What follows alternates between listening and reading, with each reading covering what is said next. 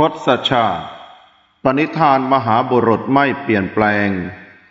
ขุนเขาย่อมมีวันทราย สายน้ำย่อมมีวันเปลี่ยนทาง แต่ปณิธานมหาบุรุษไม่เปลี่ยนแปลง ชาติที่หกภูริทัตศีลคืออาภรณ์ประดับกาย ศีลบารมี ใครต้องการเลือด เนื้อและหนัง เอ็นกระดูกของเรา จงเอาไปเถิด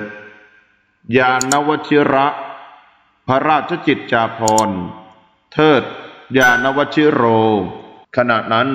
จอมพรามเนสาทะ พร้อมสมทัตลูกชาย ท่องป่าล่าสัตว์ มาเห็นพรามถือแก้วมณีนั้น จึงเปรยกับบุตรว่า พระภูริทัตเคยให้แก้วมณีนี้แก่เราใช่ไหม สมทัตตอบว่าใช่ บิดากล่าวว่า ถ้าเช่นนั้น เราจะหลอกพรามว่า แก้วมณีนั้นเป็นอัปมงคล สมทัตกล่าวว่าพระภูริทัตเคยให้แก้วมณีทำไมพ่อไม่รับ แต่บัดนี้ กลับจะไปหลอกเอาจากพรามอย่าทำอย่างนั้นเลยพ่อ รามเนสาทะกล่าวว่า อย่าฟื้นฝอยหาตะเข็บ ลูกอยู่เฉยๆ คอยดูพ่อหลอกตานั้น ว่าแล้วจึงถามพรามอาลัมพายว่า ได้แก้วมณีนี้มาจากไหน อาลัมพายเล่าว่า วันนี้ตนเดินมาตามทางตั้งแต่เช้าตรู่น่าเห็นนางนาคมานวิกา ผู้มีตาแดงจำนวนมาก ห้อมล้อมแก้วมณีนี้ พอเห็นตนเข้าเท่านั้นก็ตกใจกลัว พากันทิ้งแก้วมณีหนีไป จอมพราม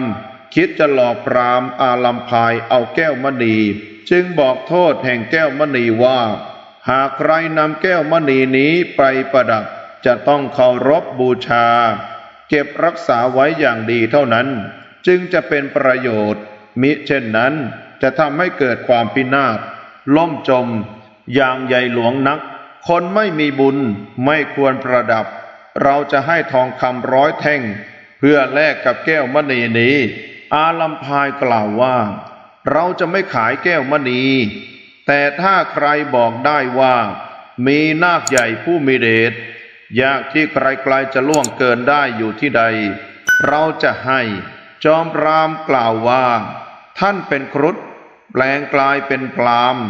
มาเที่ยวจับนาคไปเป็นอาหารหรืออย่างไร จึงต้องการรู้ที่อยู่นาคอาลัมพายกล่าวว่าพรามเราไม่ได้เป็นครุฑแม้แต่ครุฑเราก็ยังไม่เคยเห็น แต่เรามีความชำนาญเกี่ยวกับงูพิษ คนทั่วไปเรียกเราว่า หมองู จอมพรามกล่าวว่าอำนาจวิทยาคมท่านศักดิ์สิทธิ์อย่างไร จึงไม่กลัวนาคราช พรามอาลัมพายจึงเล่าให้ฟังว่า มีครุฑตนหนึ่ง มาบอกวิชาหมองูอย่างสูง ให้ลือสีโกศิยโคตผู้อยู่ป่าประพฤติบะมานาน เราเป็นผู้อุปถากท่านด้วยความเคารพ ท่านจึงสอนมหาเวทให้เราด้วยความเมตตา เราจำมหาเวทที่ศักดิ์สิทธิ์นั้นจนขึ้นใจ จึงไม่กลัวนาคเราเป็นอาจารย์ของพวกหมองูทั้งหมดชนโดยทั่วไป จึงเรียกเราว่า อารัมพาย รามเนสาทะคิดว่า ถ้าบอกที่อยู่พระภูริทัตแล้ว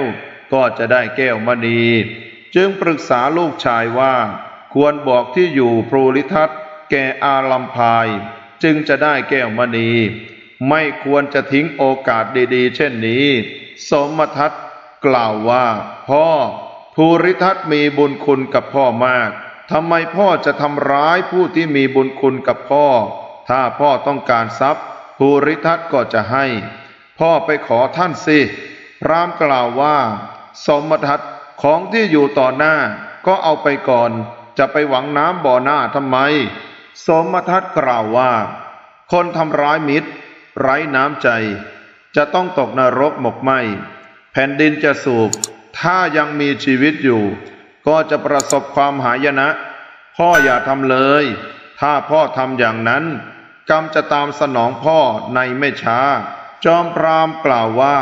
พวกพรามบูชามหายันแล้วก็บริสุทธิ์ได้ พ่อเป็นพรามบูชามหายัน ล้างบาปได้ ลูกจะกลัวอะไร สมทัตกล่าวว่า เชิญพ่อทำคนเดียวเถิด ลูกจะไม่อยู่ร่วมทำกรรมหยาบช้ากับพ่อ แล้วจึงเดินหนีจากพ่อไป พรามเนสาทะคิดว่า สมทัตคงไม่หนีไปไหน นอกจากจะกลับเรือนของตน ครั้นเห็นอาลัมพาย แสดงอาการหงุดหงิดไม่พอใจ จึงปลอบว่า ท่านอย่าวิตกไปเลย เราจะบอกที่อยู่ภูริทัตให้ แล้วจึงพาอาลัมพายไปยังที่พญานาครักษาอุโบสถ เห็นพญานาค คูขนดอยู่ที่จอมปลวก จึงยืนอยู่ห่างๆ กระซิบบอกอาลัมพายว่า ท่านเห็นรัศมี สีแมลงค่อมทอง สีสะแดง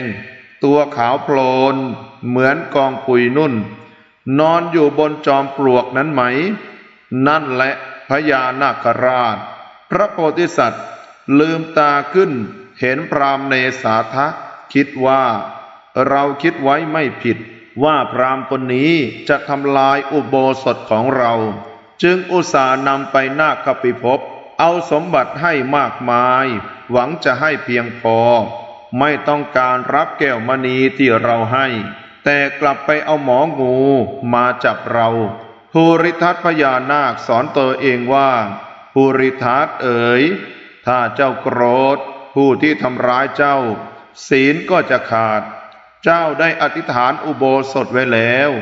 เจ้าต้องรักษาไม่ให้ขาด อาลัมพายจะตัด จะเผาจะฆ่าจะแทง ด้วยเหลาก็ตามเถิด เจ้าไม่ต้องโกรธเขา ถ้าเจ้าโกรธมองดู เขาจะแหลกเป็นเหมือนผงธุลีไปทันที ให้เขาทุบตีเจ้าเถิด ถึงอย่างไร เจ้าก็ต้องไม่โกรธครั้นสอนตนดังนี้ แล้วก็หลับตาลง ทรงบำเพ็ญอธิษฐานบารมีไว้อย่างมั่นคง สุขเสียนเข้าไว้ภายในขนดนอนนิ่งไม่ขยับกาย